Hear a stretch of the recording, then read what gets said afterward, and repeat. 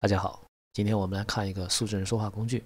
所谓的数字人说话，就是给他一张图片，然后再给他一个声音，就可以让图片去说话。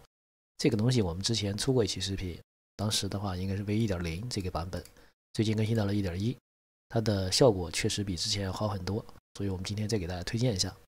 然后大家下载下来之后是这么一个文件，把它解压缩到当前文件夹，然后就可以使用了。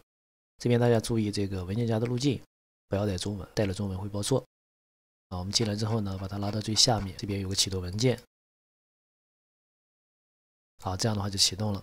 这边有模型，大家可以看到它有两个模型，这两个模型的效果基本上没有区别，大家可以自己来试一下。人脸图片还有视频导入，这个我们来找一个图片，我们就用它给我们自带的这个图片。然后呢，我们找一个声音，然后我们也是用它给我们自带的。至于这个声音和图片是什么东西呢？我们来看一下。这个是它的图片，声音的话在这儿。常记溪亭日暮，沉醉不知归路。兴尽晚回舟，误入藕花深处。是一首诗。下面这边有一些选项，这个我们保持默认就可以，不用去动。这个去人脸边框是一点一新加的功能，这个一定要勾上。然后这两个十六呢，代表就是你这个显卡，如果你显卡配置不太好的话，那么这两个数字呢，然后你就调小一点，这个大家根据自己的情况来选择。然后这些保持默认就可以，不用去动，然后直接点那个开始就可以了。我们看一下最终的结果。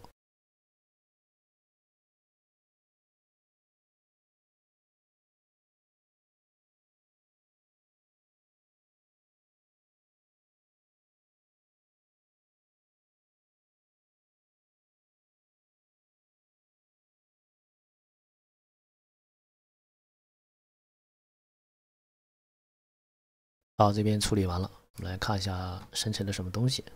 这边有个打开目录，点这个，这是我们刚才的结果。常记溪亭日暮，沉醉不知归路。兴尽晚回舟，误入藕花深处。